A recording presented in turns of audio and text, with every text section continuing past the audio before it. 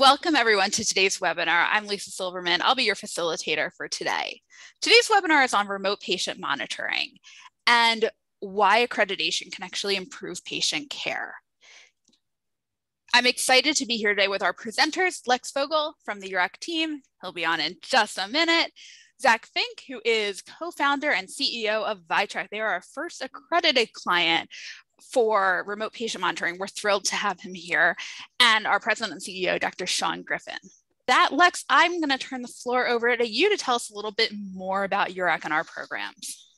Thanks, Lisa. I appreciate it. And uh, I love your outfit today. Looking great. Thanks. It's nice to be twins today. I know, we're looking sharp. So, welcome and good afternoon, everyone. I am Lex Fogel, and it's my pleasure to open the Remote Patient Monitoring webinar. URAC has the distinct honor of being the preeminent digital accrediting authority, offering the only standalone accreditations for digital health. Before becoming a client, I'm your point of contact. We will work together to determine what accreditation or certification is best for your organization. Earning a URAC Gold Star reinforces your organization's commitment to the highest qualities of care. For over 30 years, URAC has been held in the highest regard by the healthcare community. This is because URAC is an independent accreditor. Our reviewers are all staff members with an average of 20 years of experience, and we don't provide consulting services. Our flexible standards let your innovations demonstrate how you achieve excellence. URAC is at the forefront of digital health, offering several accreditations and certifications for health systems, hospitals, networks, providers, and innovators. Although digital health is elective, regulators, payers, and employers know the value associated with earning a URAC seal. More importantly, they're asking for it. Here's how the URAC accreditation process works. From the time you become a client there's roughly a 90 day period before your organization submits its application. During that time, URAC's dedicated client relations team works with your organization prior to a URAC reviewer scoring the application. URAC's process is thorough and rigorous.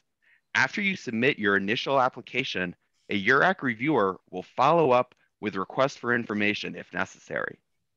Then the reviewer will conduct a virtual validation review, which demonstrates the standards. Lastly, your application is redacted of all identifying information before it goes to the accreditation committee for final determination. All the digital health accreditations and certifications are valid for three years. And Lex, I was about to chat this in, but I want to say it's really exciting. We actually have some members of our review team on board here. So if you have specific questions about the review process and need to go a little more in depth as to what Lex talked about, we've got people on here and you can just chat those questions right into the chat box. Thanks, Lisa. And any questions that we don't answer today, we'll follow up with you within before the end of the week. So the URAC team has put together some great tools and amazing people to help you along the way. You'll have a dedicated client relationship manager who is on call to answer any of your questions. We'll give you a guide to your specific program and one for using our proprietary accreditation application system. And since we believe accreditation should be a learning process, you'll work with your reviewer on ways you can improve your program operations and ways you can set yourself up for further success. Here is a sample of some of our digital health clients. As you can see, a wide range of organizations recognize the benefit of being a URAC client, from large health systems, medical technology companies, as well as mental and behavioral health providers. And it's exciting to have VyTrac with us here today. Our clients consistently tell us they value URAC accreditation or certification for the reasons you see on the screen. The standards for our program are developed by leading industry experts in the fields of technology and healthcare. Meeting these standards is something your organizations will celebrate. Shawn, I'm going to turn the floor over to you to start the conversation about the differences between URAC's telehealth and URAC's remote patient monitoring programs. Lex, thank you very much. I appreciate that. So, uh, I'm the president and CEO at URAC, uh, talking to you today from Washington, D.C. My team always teases me that I talk about a sunny afternoon here in D.C., but it actually is a pretty sunny afternoon. Uh, URAC's digital health programs, when, when we started doing digital health and we looked at telehealth, uh, telehealth was its own area and it was emerging. And, and as the innovator in accreditation, we like to look at emerging areas and help to set the framework for what quality looks like. So, among the telehealth accreditation, there's actually three different types of telehealth. Uh, there is consumer to provider, where the consumer reaches out to the provider to receive the care provider to consumer, where the provider already has a relationship with the consumer, and this is part of an ongoing care relationship. And then there's provider to provider. This is classically the, the subspecialist who comes into a provider's office remotely and, and provides a consultation type services service. And, and, and when we looked at that, you know, there's standards within telemedicine. Back when I was a CMIO for, for a decade or two, I used to say that, that telemedicine was about getting the connection, getting the video connection. And now we know that there's so much more to care than just the technology. There's the whole program, not just the platform.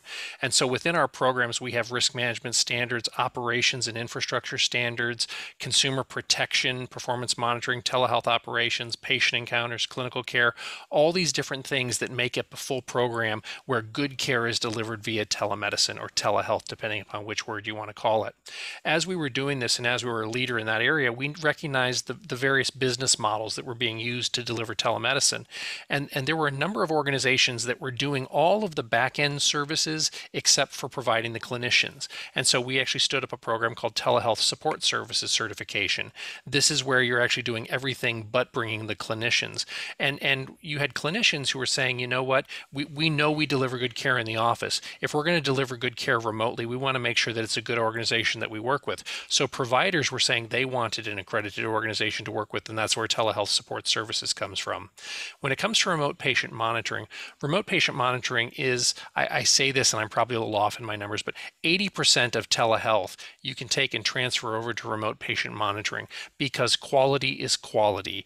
Um, you know, consumer engagement and, and empowerment are consumer engagement and empowerment, uh, quality improvement, telehealth operations, technical aspects. All of those things come over from telehealth. But we have seen this just burgeoning of remote patient monitoring, and that's where our accreditation came from that is specific for remote patient monitoring. And as we look at uh, during the pandemic, there's been so much innovation in telehealth, but there's also been this remote patient monitoring which has come along. And we, and we are thrilled that VyTrac, with their, their innovation and their, their leadership, is the first organization to go through our remote patient monitoring accreditation. Shawn, thanks so much. I'm going to stop sharing um, my screen because this is really about the conversation we're having here today. Um, so, Shawn, I really appreciate that you gave us the official URAC definition. Um, I think of of separating our telehealth, telehealth support services from remote patient monitoring. Um, that's I think that's so important for level setting. And I also just want to say here um, that we love questions throughout the webinar. We do not hold off answering questions. I will interrupt Shawn and Zach where needed to get your questions in. We don't want you to be lost about something or hear something and be kind of confused about the beginning and not get to it until the end. Um, and somebody asked their accreditation programs for international organizations. And yes, Jeff just chatted in and Shawn's gonna, Shawn's like sitting here like a kid in class. So yeah. Shawn, you want to talk about our international accreditations? I, I, appreciate that kind of the softball question. It was probably one of my friends who, who put that in. So, so we were doing telehealth and telemedicine. And if, if you look at URAC, you know, we've been around for 30 years. We're trusted. We have government deemed programs, all those sort of things.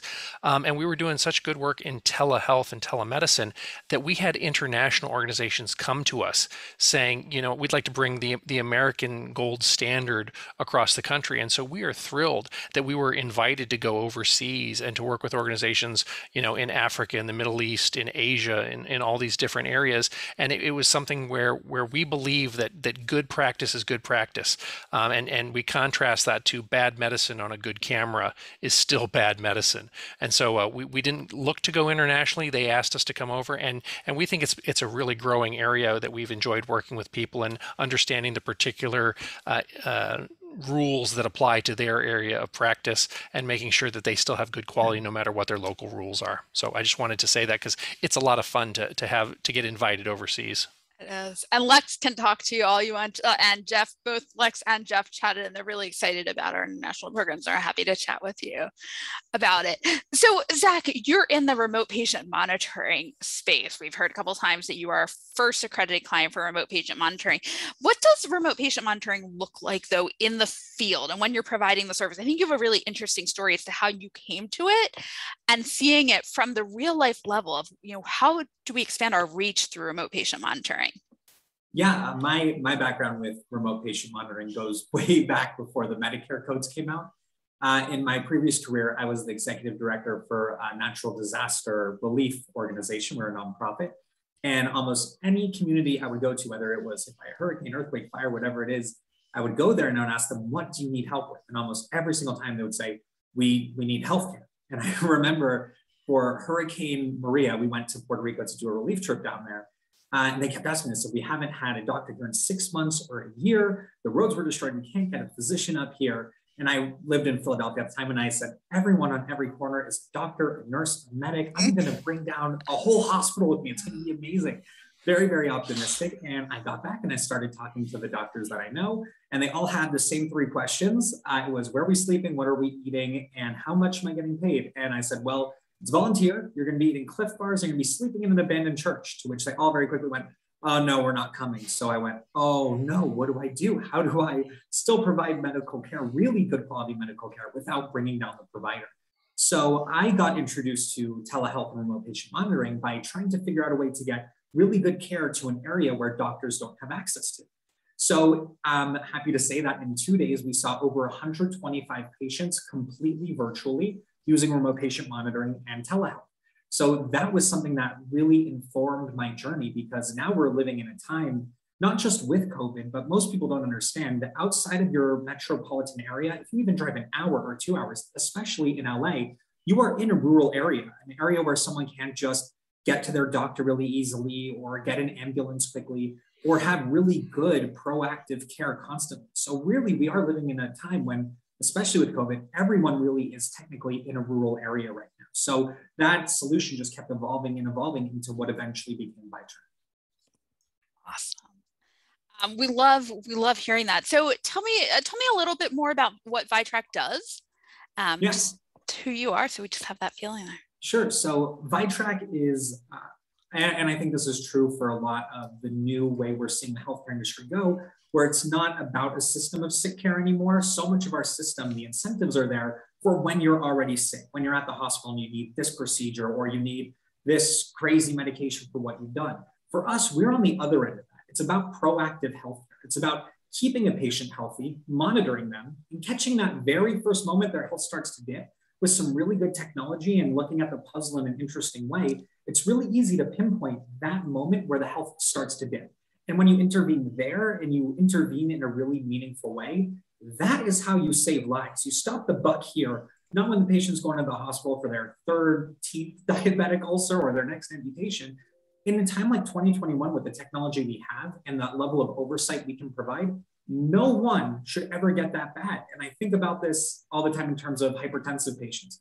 I used to be a medic and I used to get patients in my ambulance all the time with the craziest blood pressure I've ever seen. Sometimes the machine would go like, error, what is happening here? Blood pressure doesn't work like that. Does it just go through the roof one night like that? Very rarely. Most of the time, it's going to slowly build up to get to, to getting that back. So if you can catch that here, you can genuinely save lives. So that's really why we why we built VyTrac and why we're so passionate about what we do. Yeah, Shawn, yeah, the, I, am chomping at the bit here. I know.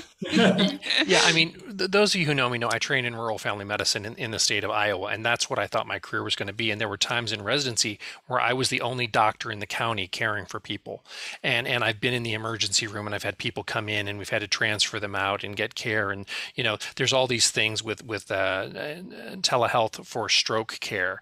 Um, but but when when Zach talks about that proactive sort of involvement, um, the, the analogy that I thought of just the other day when when we were planning on this webinar is if, if you were to go down to Miami to the condo building that collapsed and go there a few years ago and you could see the wearing away of those concrete columns and you had a chance to intervene at that point, I think we'd all want to stop that situation before the building collapsed. And we have we have thousands of people across the country and around the world who right now their their their heart is eating away at their blood vessels or their their diabetes is eating away at their kidneys. And and if you get that under control you live a normal life and and and it, it may not be we don't fix the disease but maybe we control it we make it better and we help people to live lives where they are with technology that's available. And this is just a, a fantastic new area. I've seen you know i was in houston texas where we were doing telestroke where we were analyzing patients in the ambulance as they're headed to the emergency room or we're, we're taking a look at the ekg as they're coming in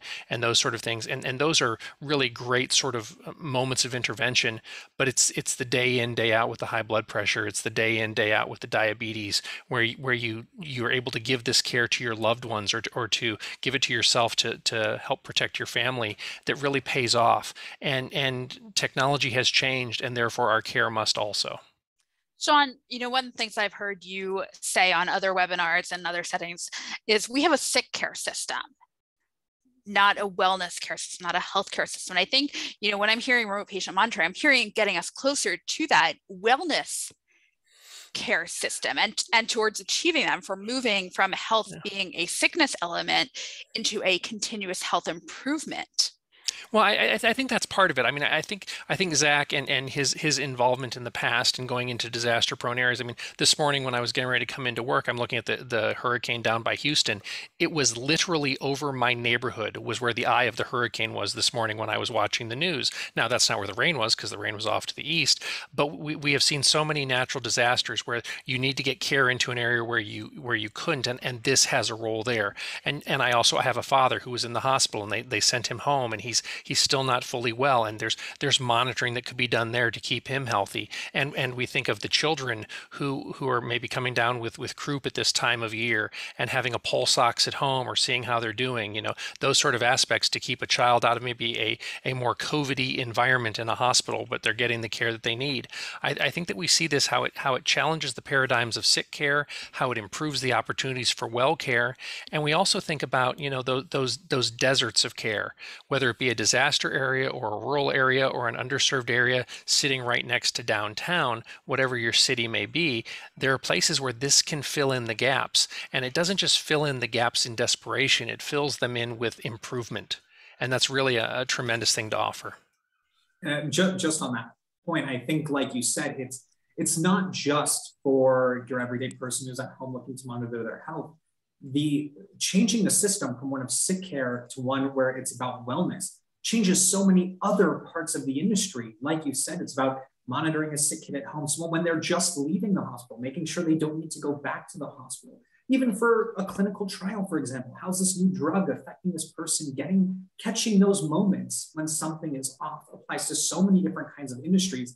And that's, by the way, early, the earlier you intervene, the better your yeah. outcomes will always be on the other end. So this is all about finding that moment and then it's not just about finding it, it's about intervening in that. So exactly like you said, this is going to change the entire industry. I've asked our audience, I really want to hear. So, this is me asking not just our panelists, but really going back to the audience. We love audience participation um, to tell us how they're seeing in the field, how they're seeing remote patient monitoring, support a health system geared toward wellness. What are some elements here? So, uh, Jacqueline, I appreciate you said readmission mitigation. Um, Shawn, you want to, I know you have thoughts on that. Well, when I was in Houston, Texas, we were we were doing population health. In classic population health, we had 500,000 attributed lives, and what we discovered is is we had kits that when you were discharged from the hospital with a, with a congestive heart failure exacerbation, where you had your heart was not doing so good, and we we'd gotten you mostly better, but we need to keep an eye on you. We would send people home with kits, and they would include things like a blood pressure cuff and a scale, and and and probably like an iPad so we could talk to the patient we could take a look at them we could see see their vitals see their weight and those sort of things. And and we were moving upstream to where we could improve the health so that they weren't in the hospital.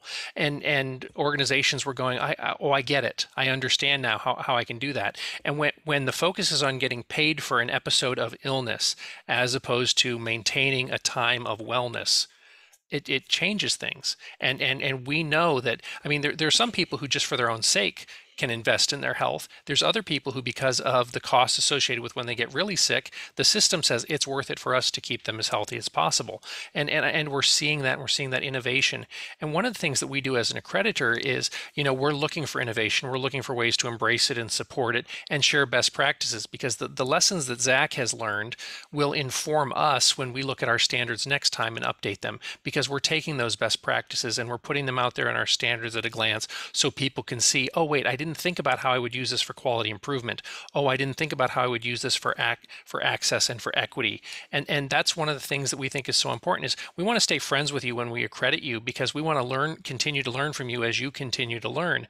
Accreditation shouldn't be, oh, on September 14th, you passed all of our check boxes. It should be you're an organization that is committed to quality and we expect you to be that not just on September 14th, but on every 14th and every month and every day.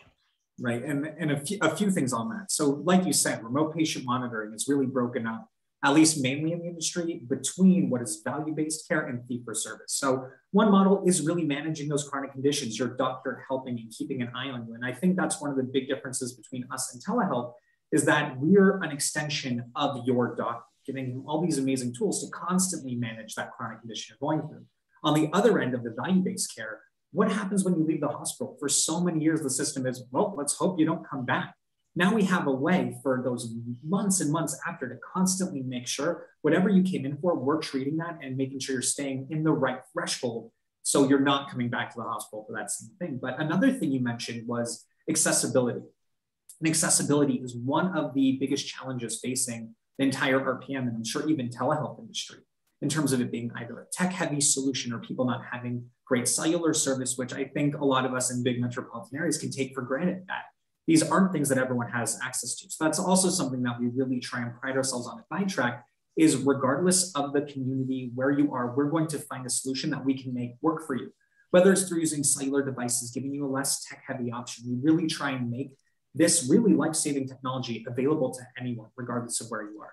And then on your last point, which is staying, staying with URAC, it's not just about, okay, you're accredited, now go. URAC, I think we talk maybe every every other week, every few weeks, just checking in. How have you been? Oh, we'd love for you to come on and try this or do this thing. So it isn't just about getting an accreditation, it's also about growing a relationship because while you're interested in what we're doing here at VyTrac and, and really informing what it means to really be offering, when you say someone has full accreditation, what is that standard? What does that organization look like?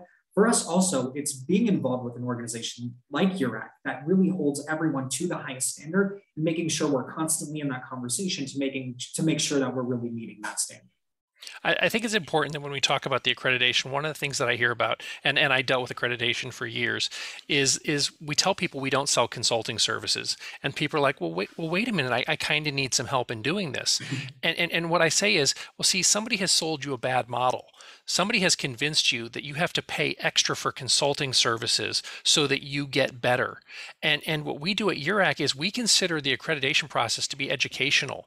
You know, if, if you sit down and you hand us your standard on, on patient identification and we go, you know, that's not that good, here's a better one, you know, we're not charging you $200 an hour for consulting. We see that as part of the accreditation process is to help make you better.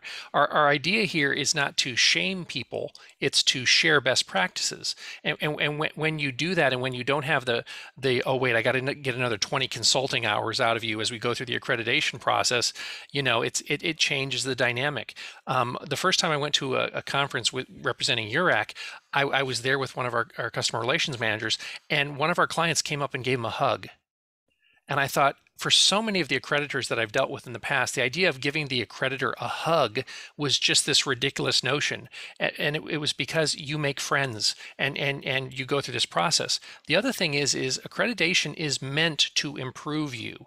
If you go through accreditation and you don't have to change anything, then you're either really high performing or you've got too soft of an accreditor.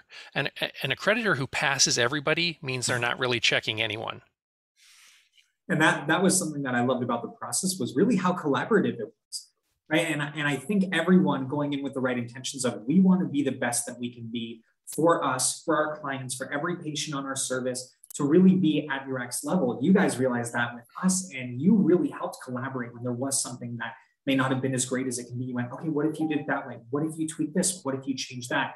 that was something that I was I was really really proud of in the process to be working with such a cool organization with how collaborative you are and helping us be the best that we can be. So I want to, I'm going to keep us focused a little bit on accreditation and, then we're going to go back to some other really hot topics I want to talk about. I want to make sure we get back to access to care and policy. But since we're on accreditation, we're going to keep us there for one more second. And I ask you, Zach, um, what's happened to you post accreditation? Yeah, it's, I mean, the amount of doors that this has Did opened. you go to, yeah. Yeah, it's it's been one of the most amazing things that has happened for our organization because now we're not just a remote patient monitoring organization. We're not just out there. We're out there saying we are right now, at least as far as we know, the the only, if not one of the very few people who have had a third party organization come in, tear through every single policy, procedure, clinical workflow, security protocol, every last bit, and say, you have our full accreditation. And for us, this opened the door to some larger hospital systems, to some payers, to some really interesting clients that before they were not interested in really doing remote patient monitoring because it's, uh, we call it all the time, the wild, wild west right now. And so for you to come in and saying it's not the wild, wild west, we went through a very specific protocol and procedure to get this, this gold seal, this accreditation from URAC that on, on every call they recognize it, they know URAC so that has allowed us to open up so many doors. And those doors that we're opening up have so many people that really need this service and can really use this life-saving technology. So you've enabled us to do what we do best and to do it better and to give this technology to way more people because now the organizations have so much more trust in what we bring to the table. And for us, we just love knowing that what we're doing has that gold seal. So every patient that is on our system, we know is really getting the best care that we can possibly get.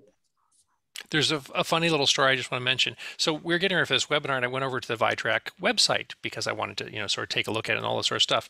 They have at the top of their website the URAC Gold Seal. If you scroll all the way down, they have it at the bottom of their website, the Gold Seal. And it, rem- it reminded me that periodically we actually find organizations that have cut and pasted our gold seal and tried to put it on their website, implying that they were URAC accredited when they weren't. And so it's it's not just about the gold seal on your website, it's also about your name on our website. You can go to, to the URAC website, we have a directory up there, and it lists the organization and it lists what they're accredited for and all those sort of things. Because it, it really is meant to be a, you know, people who know what they're doing, check this place out. You know, whether you say good housekeeping, whether you say better business bureau, I'm probably shouldn't say any of that. Just for example, you know, it. It's it's it's that kind of endorsement that that you can trust. And uh, and healthcare, it's so difficult to know who you can trust these days because people can look like they know what they're doing, and then you find out they don't know what they're doing. And to go through the URAC accreditation means not only do you know what you're doing, but you invested in the time to prove it to somebody who, who knew what they were looking for. Zach, I remember talking to you shortly after you became accredited earlier this spring, and um, we talked about going through the accreditation process. And as Shawn said, we don't want to come in and be these big bad guys. Um, we are we are not, and none of our reviewers are. Um, and I recall you saying to me that the validation review was the most fun final exam you had ever taken, and I'm going to continue to quote that that you said that um, because you said that it was you know you got to show off, and it's a great way and yeah and and for us as so much so many of our team members have sacrificed so much time and effort and power into making VyTrac what it is. And we wanted to know that we really built something that was operating at the highest standard. So after all the time and effort that went into getting the URAC accreditation and really molding our company to be to really be what it should be and operate at this really high standard we got to that final exam and I was in school for like a decade between all the different programs that I've done. So I've taken many final exams. And this one, I remember going in and it, I felt just ready. I felt good about it. I had all my T's crossed, my I's dotted, even my lowercase J's dotted too. So we really, we really went in and I, I was excited for it. I know some of our team members were nervous, but I, I knew that what we built was incredible and I was proud of it. And it was really amazing to see that you felt the same way and in return gave us that full accreditation. Awesome. So we promised people we would actually talk about some of the challenges addressed here. Um, remote patient monitoring depends on some kind of internet or distance connectivity. Um, but let's talk about that. Shawn, rural Iowa.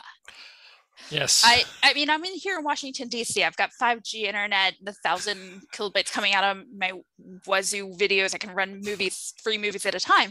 But rural Iowa, probably not so much. Let's talk mm-hmm. about the limitations there. Um, and also, the other element is not just tech access, but also tech literacy. So that person who may not know how to log onto a computer or who may not have a smartphone attached to them for 24 hours a day. Um, Shawn, why don't you talk to us a little bit there about some, what's the limitations and what are we seeing and how does remote patient monitoring, what it's needed to address some of those too? Well, I, I think it's incredibly important that we talk about flexibility and, and adaptation. Um, because you know when, when, I look at it's always funny I see these cellular TV the, the cellular phone ads and and I look at them and you, they have their coverage map and and I grew up in places that are still white on the coverage maps. I mean, there, there's not cell service or anything like that, um, and and and that's what we've got in in certain areas. We also have places that are on the coverage map, but they don't have coverage on their device or those sort of things. And I think that when we think about both telemedicine, telehealth, and, and remote patient monitoring, you need to work with organizations that can dial it up or dial it down, and that invest in the education. Because if if I were to hand my uh, my dad, who's 78, if I were to hand him an iPad, he, he probably would open the Facebook app and he would scroll for a little while and that sort of stuff, and that might be it. But if I were to hand him a, a medical device and say, hey, I need you to check your blood pressure, he could hurt himself. And, and so you, you really have to not just enable, you have to educate and you have to follow through and you have to make sure that it's working. And there are times, honestly, where the best you're going to do is a phone call. And there's other times where you're going to be able to give a, a device that has a cellular card in it and it will connect. There's other times where, you know, you might have to do something else and, and hardwire or broadband or those sort of things. But I, I think it's important to recognize that with innovation needs to come um, innovation, not just in the tools you offer, but in the way that you support the clients who need it. Um, because the, you know, the, the worst tool in the world is one someone can't use, whether it be a, a $10,000 computer or whether it be a $5 wrench. If you can't use it, it's a waste of time in your hands. And so I, I think that that you you need to understand that not it's not one size fits all it's not one one size of team to support a person fits all. It has to be meeting people where they are with the tools that they have and the understanding that they have for the condition that they have, so they get the best care that they can get. And you have to have to understand that. And one of the things about URAC standards, which I, I just want to mention, is there's very few standards where where we say this is how you have to do this.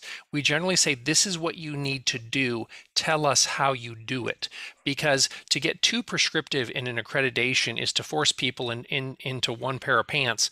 And we got a lot of different sizes of people that we have to deal with. I want to make sure that our remote patient monitoring standards work in downtown New York City with a person who's a, an investment broker, and they also work with the farmers that I grew up taking care of.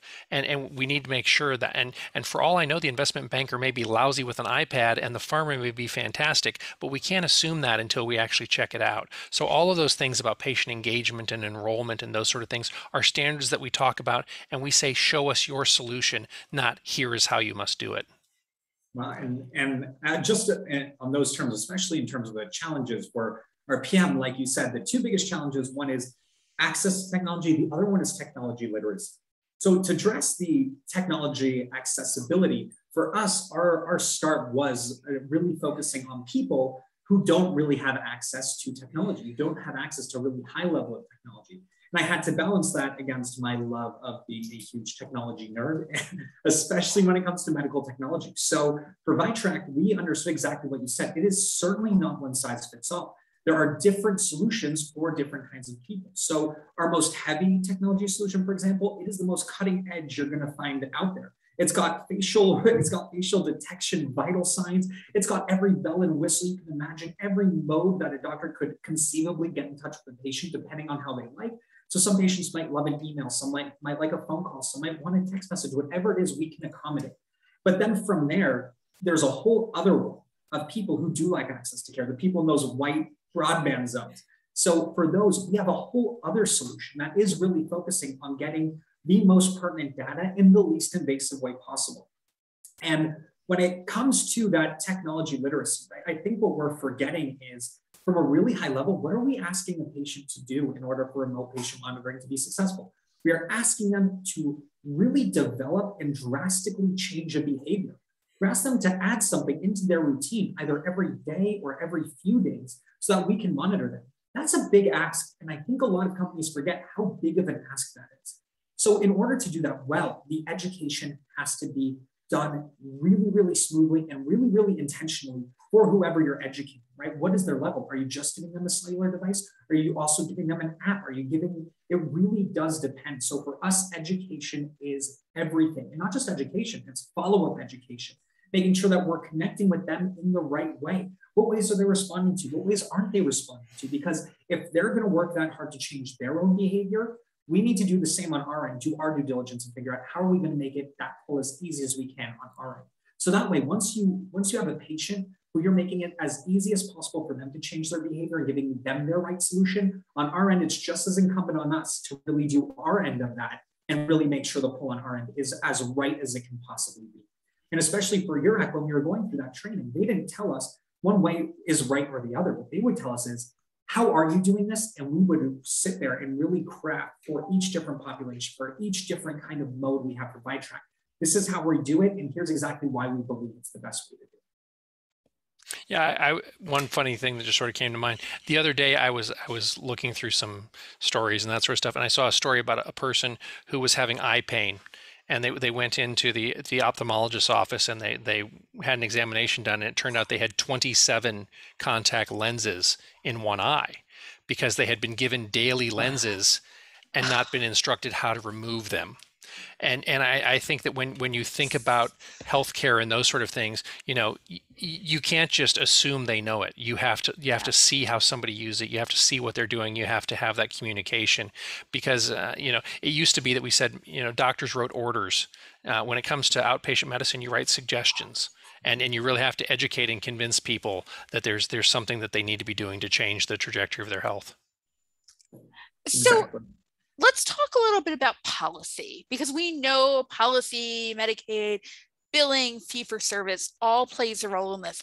So I'm going to ask you first, set the stage. Um, Shawn, what what voices are currently at the table talking about this? And then and who needs to be at the table? Who's missing? Because we know um, i've said this before if you're not at the table you're on the menu. So who's at the table and who's about to get eaten for dinner well, I, I, think you know it's very interesting. I mean, I, I gave a talk a couple weeks ago at HIMSS um, about telehealth and policy and those sort of things.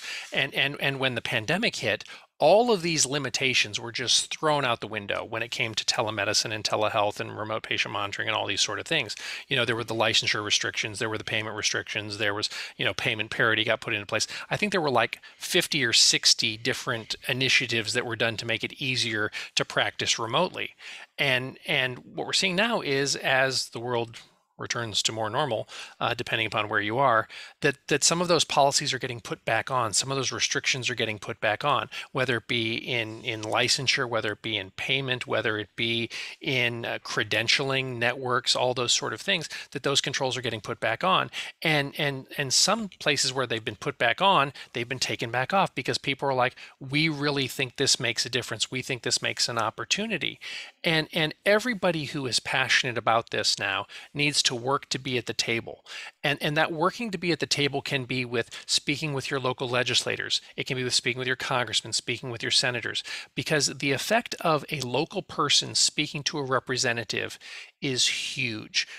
If you've never done it, you're missing out because they actually want to hear from you. It's one thing for me to go over to Congress and to say, hey, Senator from uh, Idaho, this is what we're seeing. It's another thing for someone from Idaho to speak to the senator's office from Idaho and talk about how remote patient monitoring or telehealth has made a difference in their world. And so, so talk to your people, make sure that you understand what's going on. If you have advocacy groups that you're part of, you know, make sure that you that you're speaking with them and sharing your experiences because just because it's important to you doesn't mean it's important to everybody else.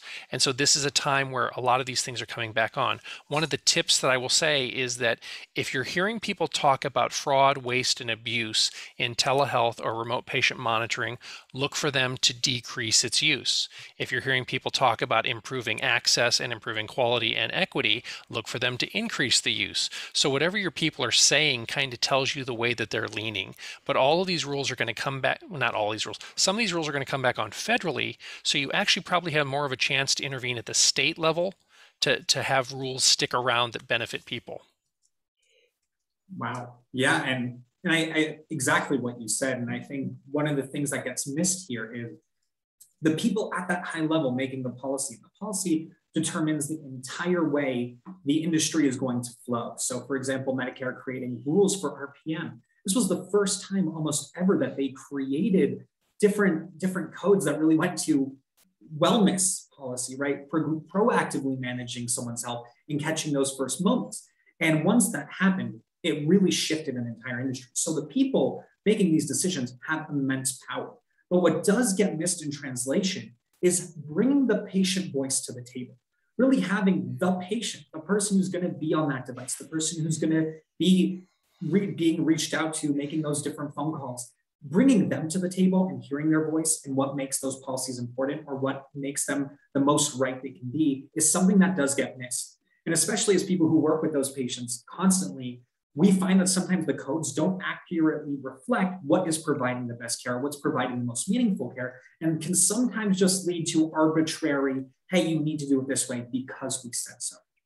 So that's why for us, really what you said, advocacy is huge. Making sure that when new codes come out, that you are lobbying the codes, that you are bringing that patient voice to the table, having people with that patient voice on your team and hearing them out. So that way you can actually adapt different procedures. And, and like you said, Shawn, you reminded me of a story back when back from my nonprofit days is I was volunteering in Uganda for a few months. And we came back and we went to DC because we heard there was a bill called the Farm Bill that was on the table. The Farm Bill sounds great if you're a senator. It was to send a bunch of food to Uganda. That sounds great, except for you when you realize that most of the people out in the rural areas in Uganda, that's how they make all of their money. So if you're going to provide yeah. the only the thing for free that people make money on, you're going to collapse an entire economy. So we went, a group of us from that trip, put on our fanciest suits and went all over Capitol Hill, knocking door to door to senator to senator and letting them know, hey, we were on the ground. Here's what the effect that policy will be.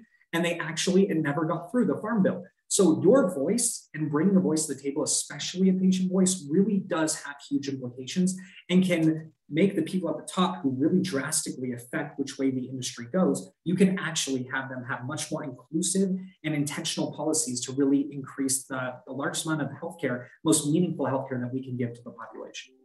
Yeah, I, I, think people sometimes forget that good intentions don't always lead to good results. Yes. And, and, and one of the reasons why we're here in DC is because we, we believe that we, we need to advocate. And, and years ago, I was helping to run population health, and I said I could have 2,000 physicians doing the right thing, and then somebody puts a comma in the wrong place in a bill, and it throws it out the window and and and that's what we're dealing with now. I mean, when we, when we talk about trillion dollar programs and billions of dollars for this and billions of dollars for that, you know, that determines where industries go and, and the care that people receive.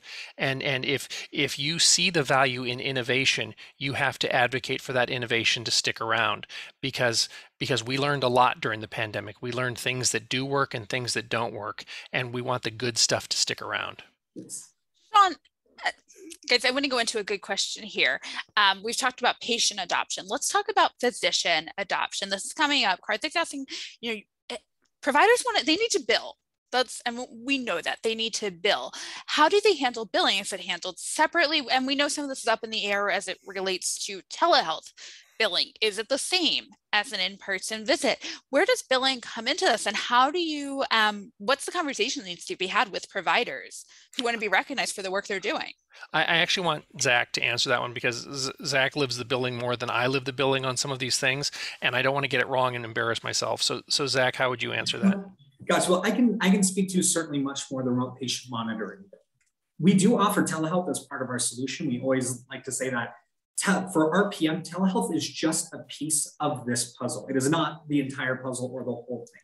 But we do offer that just as part of our service. And then if the physician does want to bill for that, we can help them. But that's not really the bread and butter of RPM. And just before I get into this, I would like to say there is a whole other side of RPM, which is not based on the codes. What we say is we go to a hospital or a large health system and we say, by having your patients on our program, we're going to be able to catch those moments where they start to not be healthy anymore and intervene there to keep them healthy and out of the hospital.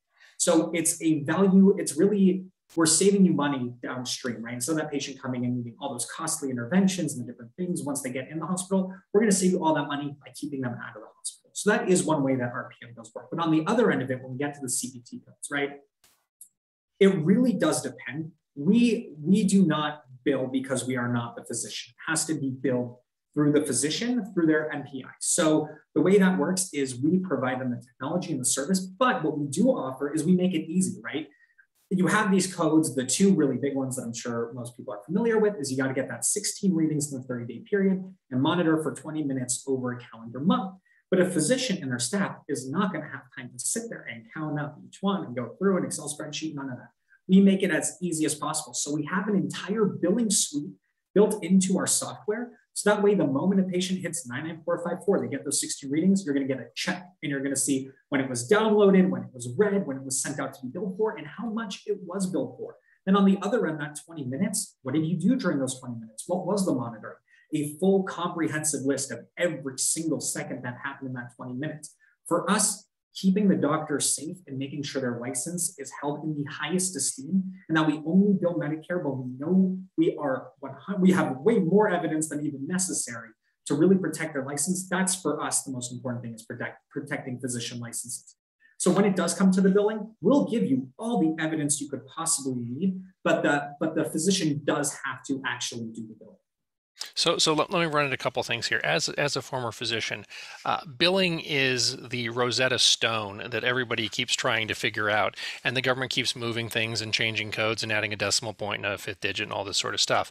And so it's incredibly tricky, and it depends upon where you are, the plan that you're dealing with. All these sort of things come into play here. Now, what Zach and his team have done is they they have tried to idiot proof it as best they can, which means they have underestimated the idiots that they might have to deal with. Uh, is is the, the old joke joke that I, that I used to say as a CMIO. What you've got is you've got payments, and and you have to have somebody who's fluent in payments. Okay, they have to know in your system, in your office, all those sort of things, how you do it, how you handle it with your EMR, how you handle it with your clearinghouse. Is your clearance house, you know, cutting digits off and all that sort of stuff. um, so so all of those controls are coming back on after the public health emergency, depending upon where you are. They're dependent upon your state, they're dependent upon your contracts. So we could have a six day symposium just on billing for these sort of things. Within, within telehealth and telemedicine, those are some of the things that are going on right now. Some payers are still paying for it, some payers are not paying for it. I think that, that the, the leaning of, of activity is towards increasing payment with some controls on it. And that's what we really, you know, if, if, if you see somebody walking down the street holding a sign that says payment parity for telehealth, health, I, I, think they're simplifying the question away from being meaningful because there's some things in telehealth that are worth paying the same. There's other things where you can't really make a case. Surgery via telehealth is not something I would pay the same as being in an operating room, but there's good evidence for behavioral health via telehealth that, that probably should be equivalent payment. With remote patient monitoring, if you have a value-based care arrangement where you're caring for a population, then, then something like remote patient monitoring really makes sense quickly from avoiding one hospitalization in a population. It's like, well, there we just paid for that month. And and and you really need to deal with organizations that understand. If you're looking at the fee for service, pull the lever, get a dollar, then then that's a lot tougher to do. Um, there are ways to do that some of the time, but it's really about you. If if you could bill for it and it was making care worse, you shouldn't be doing it. If it's making care better and you're having challenges billing for it, work through the challenges because it's worth it to the patient. Awesome. Um, I want to be aware of time and I am going to share our contact info in just a second. But I always like to ask our panelists, and Shawn, you've heard this from me many times. What's the what's the future of remote patient monitoring? Um, Zach, you're in this. You're probably doing strategic plans, have your five and 10 year plan out. What are you what are you looking at? What are you preparing for? And then Shawn, I'll give it to you to close out the webinar. So I, I think you can kind of segment this into what are my hopes for the industry or what are what is the data showing where the industry is going to go? So i would say that just based on the data and what we're seeing throughout the entire remote patient monitoring industry is that we are giving better care and we are saving lives and we are keeping people out of the hospital. So i think at some point especially having been in med school for a little bit myself i think this will be something that will become the norm You'll be taught in school what is the best way to proactively deal with the patient's health, not just reactively. I remember from my time, they would give me a case and they'd be like, here you go, go with your classmates and solve this case with this insane disease and all these things. And I remember every single time it became a joke, my first question would always be the same. It would be, how did they get that bad? How did we let the patient get this bad?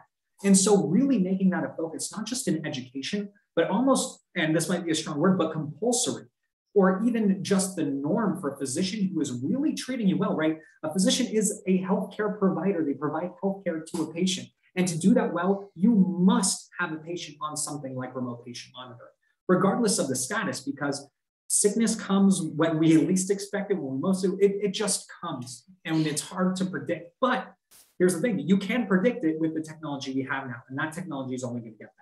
So I think it will start to become much more standard, if not compulsory.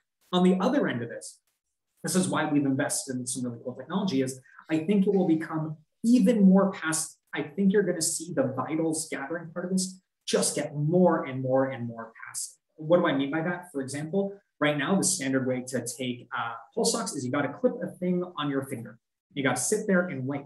We've invested in technology that allows you to take vital signs just using your camera. So that's just holding up your phone like this. And in under a minute, we got your pulse ox and we got your heart rate and we got a stress level and we've got your respirations. But these technologies are only going to get more and more passive. It's about gathering these data points and these vitals without bothering the patient at all. So I think you're going to see those technologies really, really start to ramp up and become really, really cool, for lack of better words. I'm a bit of a nerd, so I get excited thinking about what that might look like.